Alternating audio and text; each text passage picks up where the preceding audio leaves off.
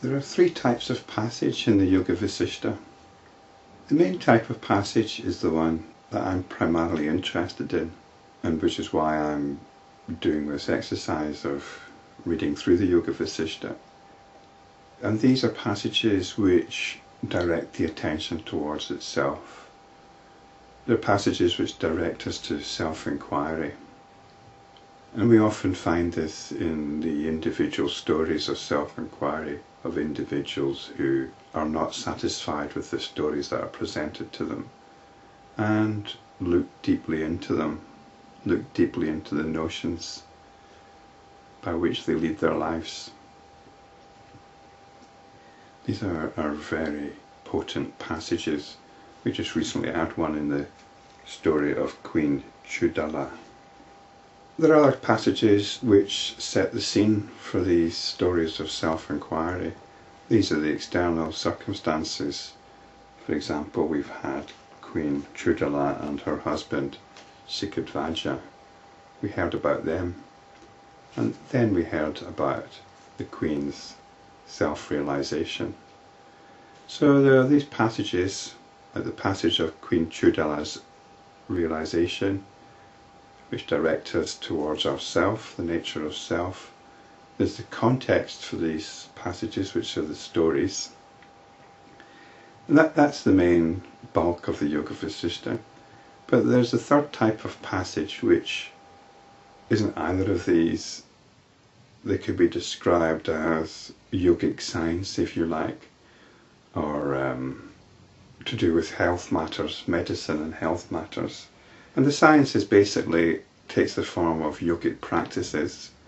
So you could argue whether they're actually science in the modern understanding of the word at all. They're beliefs. They're beliefs about how the body works, about how the so-called life force or life energy works. This is prana. And the techniques given here are to do with Kundalini Yoga and Pranayama. And as, from the point of view of self-realization, they're of no interest whatsoever. Although from other points of view they might be quite interesting. They're presented here in the context of gaining supernormal powers. Queen Chudala, although she's self-realized, her main concern was to bring her husband towards self-realization. But I think the very fact that she was a woman closed him off to that possibility. So she's basically passing her time, and this is what she's decided to do. This notion or this inclination has arisen. So we've got some explanation of this.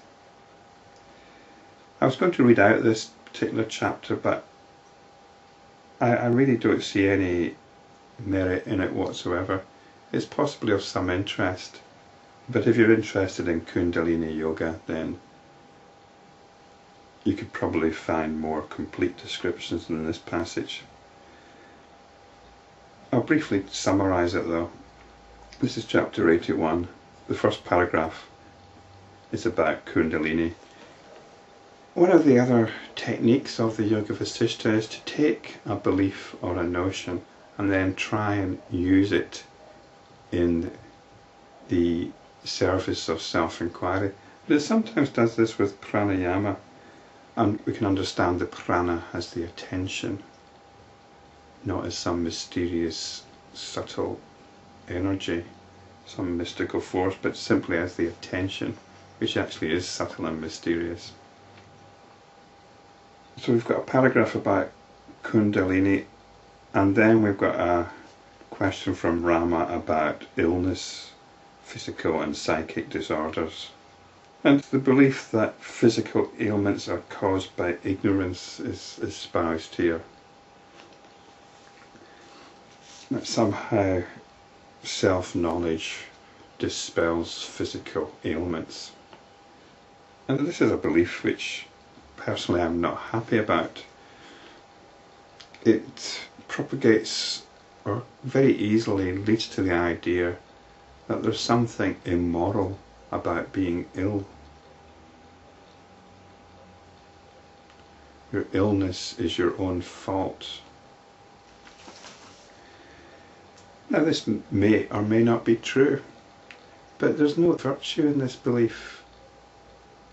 It's not a belief which is conducive to compassion, it's a belief which is conducive to a rather hateful self righteousness if you're a well person and you see people that are not well as, as weak.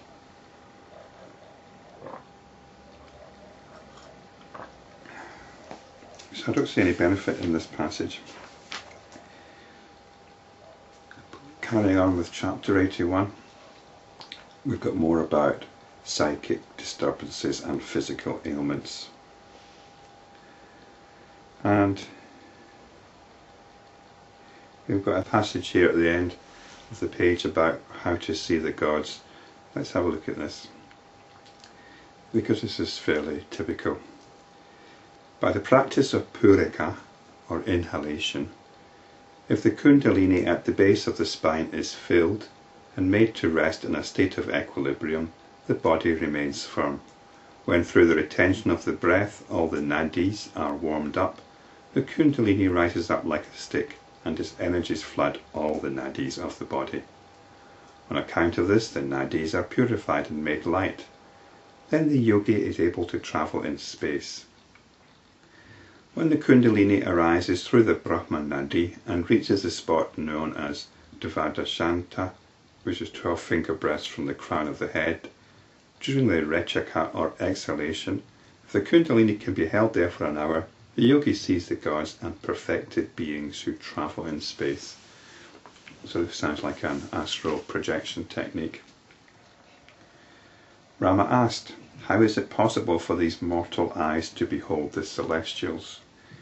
Vasishtha said, Indeed, no mortal can behold the celestials with these mortal eyes. And this is where the, the Yoga Vasishtha brings us back to actuality. But through the eyes of pure intelligence, the celestials are seen as in a dream. The celestials are able to fulfill one's desires. Visions of celestials is none different from dream. In fact, the only difference being that the effect of the vision is lasting. So beholding the gods, beholding the celestials is of the nature of dream, except it's got a bit more permanence to it. But we're talking about a higher state of consciousness here. The celestials are able to fulfill one's desires. Well, I'm sure it gives rise to a, a sense of ecstasy and fulfillment if you see a celestial. Again, if one is able to hold the life force in the Dvadashanta, 12 finger breaths from the body, for a considerable time after exhalation, the life force is able to enter other bodies. This power is inherent in the life force, though by nature unsteady it can be steadied. Since the ignorance which envelops everything is insubstantial, such exceptions are often seen in the movement of energy in this world. Surely all this is indeed Brahman. The diversity and diverse functions are mere figures of speech. So we're getting this teaching, but at the same time we're being asked to realize that everything is of the nature of Brahman and come back to that realization.